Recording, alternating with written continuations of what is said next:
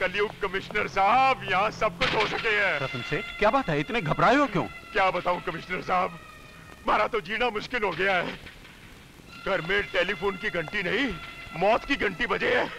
कोई गुंडा बार बार फ़ोन करके धमकी देवे है कि मन्ने एक करोड़ रुपया रोकड़ा दे दे नहीं तो तारे बेटे को उठा के ले जाऊँगा। उसने मारे को 24 घंटे की मोहलत दी है। कल किसी वक्त भी फ़ोन करेगा। ना रात को नींद आवे है ना दिन को चैन। हमारे घर में पुलिस का पैरा बिठवा दीजिए कमिश्नर साहब। घबराओ नहीं रतन से। हमारे होते हुए कोई तुम्हारे बेटे की परछाई को भी नहीं छू सकता। जी। इंस्पेक्टर विजय यस सर फ़ौरन इनके लिए पुलिस प्रोटेक्शन का इंतज़ाम करो। सर बहुत बहुत धन्यवाद कमिश्नर साहब। इंस्पेक्टर साहब जरा जल्दी इंतज़ाम करवा देना। अब मैं जाके भोलेनाथ के मंदिर में प्रसाद चढ़ाऊँगा। राम राम ये इंस्पेक्टर वो खतरा है। जो दिन ब दिन हमारी तरफ़ बढ़ता आ रहा है।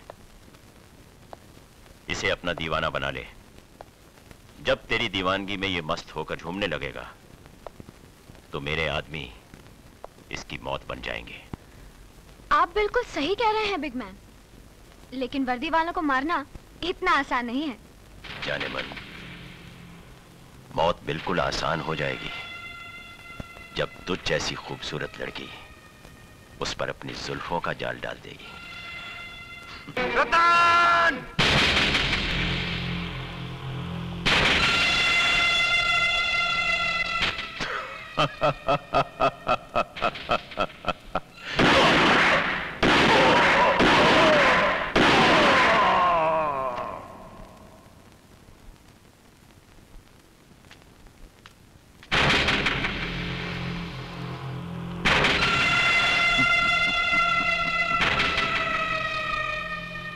प्रिंसिपल। बेवकूफ़। बिग मैन को मारना इतना आसान नहीं। ये देख। Bullet proof jacket. तू जोश में होश गवा बैठा है, प्रिंसिपल खन्ना। तू मेरी मौत बनकर नहीं, बल्कि खुद मौत के मुँह में चलाया है। मेरे ज़िंदा रहने के लिए तेरा मरना बहुत ज़रूरी है।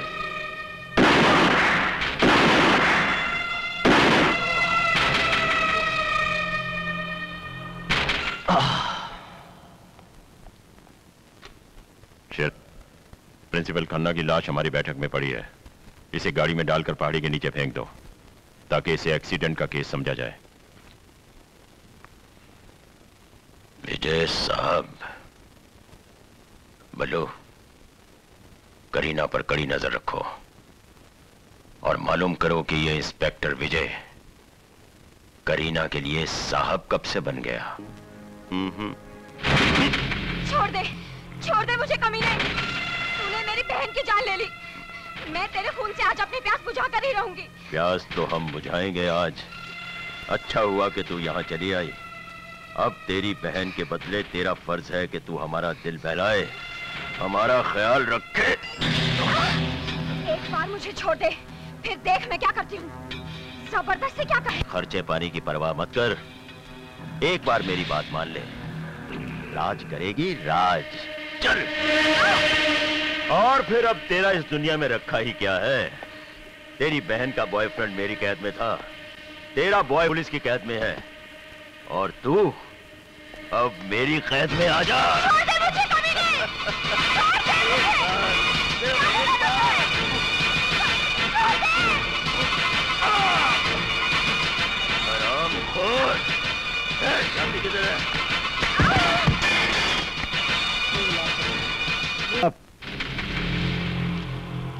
सुना है, जब इंसान के सामने उसकी मौत आती है तो उसे पहचान लेता है।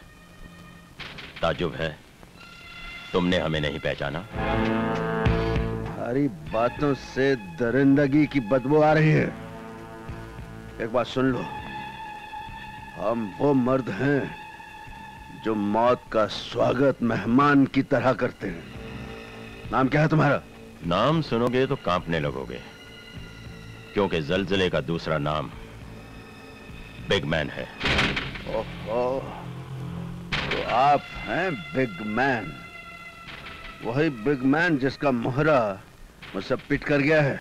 मेरे पिटे हुए मोहरे ने बताया कि तुम मुझसे मिलने के लिए बहुत बेचैन हो। इसीलिए खुद अपने पैरों पर चलकर मैं तुम्हारे पास आया हूँ। लगता है चलकर वापस जाने का इरादा नहीं है तुम्हारा। तुम सलसला नहीं जल्लाद हो। इसने स्कूल के बच्चों को मार डाला। प्रिंसिपल की बहन को खत्म कर दिया। प्रिंसिपल की भांजी की इज़्ज़त लूट ली। तूने उस देवता के हँसते खेलते संसार को उजाड़ तुम संसार वाले भी अजीब प्राणी हो। देवताओं को धरती पर बुलाकर खामखा उन्हें कष्ट भोगने पर मजबूर करते हो। अरे भाई, देवताओं की जगह धरती पर नहीं, ऊपर होती है। इसीलिए उस देवता को ऊपर भेजने का इंतज़ाम मैंने कर दिया है।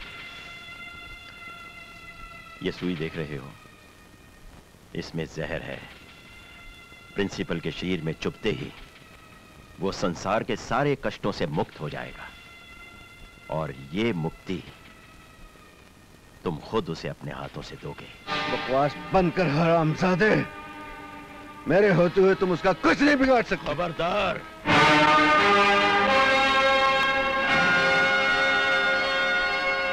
मेरी निशा को खराश भी आई। तो फाड़ के रख दूँगा।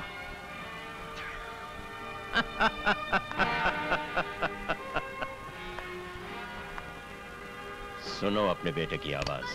बजा मम्मी पापा ये लोग मुझे मार रहे हैं बजा बजा मम्मी पापा ये लोग मुझे मार रहे हैं बजा बजा मम्मी पापा, बजा बजा बजा मम्मी पापा बजा पापा मम्मी मम्मी बजा बजा मम्मी मार रहे हैं ये लोग मैं आपके आगे हाथ जोड़ती हूँ। मेरे मुन्ने को कुछ मत कीजिए। उसके बदले मेरी जान ले लीजिए, मेरा मुन्ना। अहिंसा परमो धर्मा हम तो किसी को नहीं मारना चाहते। मरने और मारने का फैसला तुम्हारे पति के हाथ में है। अपने पति से कहो कि प्रिंसिपल साहब के ऊपर इस जहरीली सुई का इस्तेमाल करे। तुम्हारा मुन्ना बच जाएगा। ये दरिंदा हमारे मुन्ने को मार डालेगा मार डालेगा। अगर मेरे मुन्ने को कुछ हो गया तो मैं अपनी जान दे दूँगी। आप कुछ कीजिए। मुझे मार डालिए। इस आदमी को मार डालिए।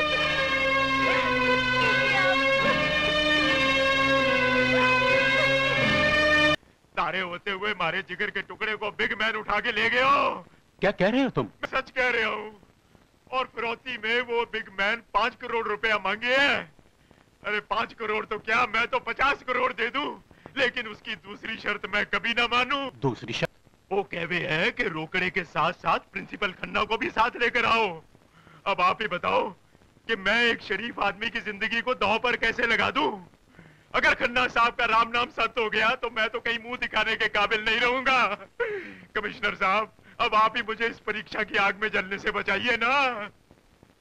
इस परीक्षा की आग में तो हमारा डिपार्टमेंट भी जल रहा है, रतन सेठ। उस बिग मैन ने हमारे सबसे काबिल और होनहार इंस्पेक्टर विजय और उस रेंट करीना को भी अगवा कर लिया है। और उनके बदले में हथियारों का जखीरा चाहता है। आए आए, राम भली करे। अब क्या होगा? बनने तो समझ में नहीं आवे कि ये खुफिया मीटिंग चल रही है कि क्या है? ये है क्या? वो साले बिग मैन को कैसे पता चला कि हमारी खास मीटिंग चल रही है? मन्ने तो लागे, हम में से ज़रूर कोई आस्तीन का सांप है, जो छुप छुप के हमारे खिलाफ जहर उगल रहा है। कौन है वो कमीना? कौन है वो गद्दार, जो बिग मैन के हाथों बिका हुआ है? कौन है वो? तुम हो? तुम हो? तुम हो? या मैं हूँ? कौन है वो? कमिश्नर साहब, अब तो मेरा आप लोगों पर से भरोसा उठता जा रहा है। अगर मेरे बेटे को कुछ हो गया तो राम कसम मैं आप में से किसी को माफ़ नहीं करूँगा। किसी को भी माफ़ नहीं करूँगा। रिलैक्स सेठ जी रिलैक्स।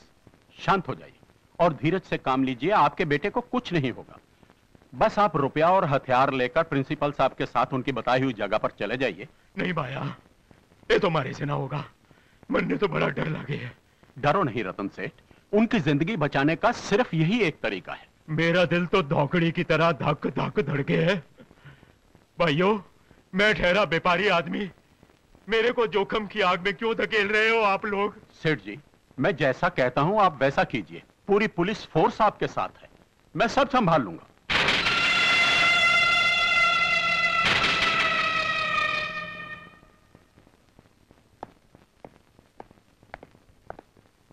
प्रिंसिपल साहब?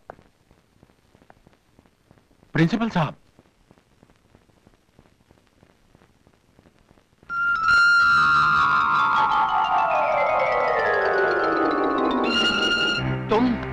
संभाल के।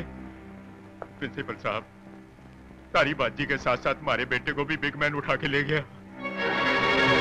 दोनों की जान बड़ी खतरे में है। ये बिग मैन कितना कमीना आदमी है ये तारे से बढ़कर और कौन जाने है?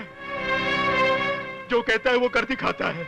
कमिश्नर साहब ये ना ना ना ऐसा ना करना प्रिंसिपल साहब। मैं तारे हाथ जोड़ता हूँ। तुमने पहले भी उसके साथ टकराने की कोशिश की थी और उसने तारे सारे खानदान का सत्यानाश कर दिया था। अब वक्त बर्बाद मत करो। मेरे साथ चलो। आप तो जानते ही हो, बिग मैन को। वो बहुत जालिम है। बहुत ही जालिम है वो। जो कहता है, कर दिखाता है। प्रिंसिपल साहब, रतन सेठ ठीक कह रहे हैं। आप घबराइए मत। पुलिस बराबर आप दोनों पर निगरानी रखे रहेगी। इस बार हमारे बिछाए हुए जाल में बिग मैन चूहे की तरफ़ फंस जाएगा। देखा, प्रिंसिपल? किस तरह पुलिस के चक्रव्यूह से निकाल कर ये बिग मैन तुझे मौत के मुँह में ले आया है? ना ना ना। इस तरह परकटे परिंदे की तरह फड़फड़ा कर अपनी ताकत जाया मत कर। इसे संभाल कर रख, क्योंकि मौत से पहले अभी तुझे कई बार तड़पना है। तड़पना तो तुझे पड़ेगा, बिग मैन। उस मछली की तरह, जिसके दरिया का सारा पानी अचानक उसका साथ उड़ जाता है। और अगर खुद उस तड़प से बचाना चाहता है तो अपने आप को कानून के हवाले कर दे। क्योंकि अगर कानून के रखवाले तुझ तक यहाँ पहुँच गए ना तो तेरे चिथड़े चिथड़े उड़ा कर रख देंगे। यहाँ जो भी आएगा कुत्ते की मौत मारा जाएगा। क्योंकि इस वक्त पर है वहाँ सिर्फ़ बिग मैन का कानून चलता है। और बिग मैन के कानून के सामने तुम्हारे ईश्वर का कानून भी नहीं चलेगा। ये ईश्वर का कानून ही है। कि मौत तेरे सर पर मंडरा रही है और तुझे नज़र नहीं आ रही। क्योंकि तू उन पापियों में से है जिनका धर्म सिर्फ़ पैसा ही होता है। और पैसे की खातिर वो अपनी माँ, बेटी और बहन क्या देश तक को दांव में लगाने को नहीं हिचकिचाते। प्रिंसिपल जब खुद पर चोट लगती है तो सिस्कारी निकल ही आती है। तूने वो कहावत तो सुनी होगी, बिग बहन? दिया बुझने से पहले बहुत फड़फड़ाता है। अब तू भी उसी कागार पर पहुँच चुका है। तेरा विनाश अब निश्चित ही है। विनाश मेरा नहीं। विनाश उन लोगों का निश्चित है जो बिग मैन के रूप को जानते हैं पहचानते हैं। और उसके बाद ज़िंदा रहेगा रतन सेठ एक शरीफ इज्जतदार बिजनेसमैन। और लोग ये कभी नहीं जान पाएँगे कि बिग मैन और रतन सेठ एक ही सिक्के के दो रूप हैं। बिग मैन भेड़िए। रूप बदल लेने से बदन की बदलती अब भी वक्त है। अपने आप को पुलिस के हवाले कर दे। रस्सी जल गई पर बल नहीं गया। शेर की कार में आकर शेर को ही धमकाते हो। ढूंढा ना इसे।